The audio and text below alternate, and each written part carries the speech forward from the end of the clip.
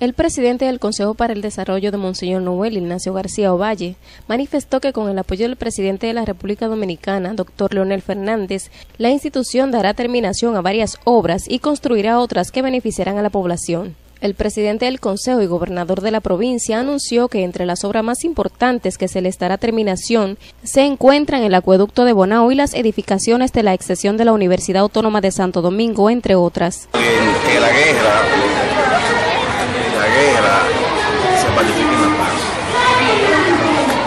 Y cuando hay problemas en, una institución, en un país, tenemos que ponerlo todo positivo y sacarlo abajo para seguir adelante. Yo creo que nosotros vamos a sacar consejo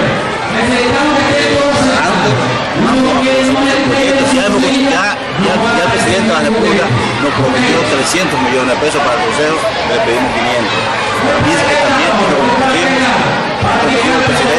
en el acueducto y ya estamos haciendo las gestiones para, para reiniciar los trabajos de reparación de toda Yo creo que este es un año de reto, pero va a ser positivo para la para el Consejo y para la gobernación, para el gobierno que encabeza. Indicó que a pesar de la crisis económica que está viviendo el mundo en los actuales momentos, espera hacer un buen trabajo al frente tanto del Consejo para el Desarrollo de Monseñor Noel como de la Gobernación en beneficio de las personas de escasos recursos económicos de la provincia. En una producción del periódico resplandor.com.do desde Bonao para el Mundo, en cámara Arquímedes Luna, reportó Jocelyn Luna.